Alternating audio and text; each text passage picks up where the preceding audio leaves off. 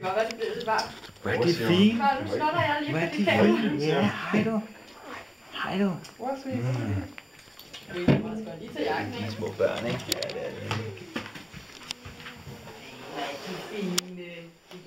Hvor er de er. Hvor er er sæt blevet store, dog. Det er helt vildt så hurtigt det går. Ja, den ene havde forleden dag taget 200 gram på bare sådan. Det er rigtigt. Ja, så 200 har taget 300 gram på eller sådan noget. Er det så tøserne, eller er det drengene, der... Par af tøserne og, og to af tøserne, den ene han er meget stor. Meget store. Meget, meget store.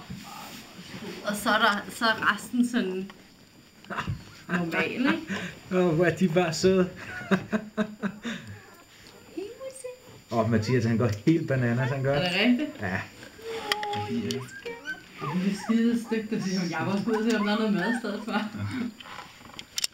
Er da meget fint. Ja, vi har jo ikke vidst, hvordan hun ville tage, at der kom andre end os, vel? Nej, Øh, og vi har ikke ville stresse hende unødvendigt. nej, det synes jeg er rigtig fint, altså. Fordi at det går jo lige... Så kan I se dem på YouTube i aften, dog. Ja, Hvis det er i orden, jeg lægger dem op, altså. det gør du bare. Lige så tosset, du har lyst til. Nej, hvor er de søde. Nej, hvor er de søde. Åh, det er... Det er så fint. Ja, det er jeg hviler på kraften ikke lige nu, siger jeg. Jeg er træt af dem. simpelthen. De hiver os lige derinde. Ja, det gør de. Men det er fine størrelser.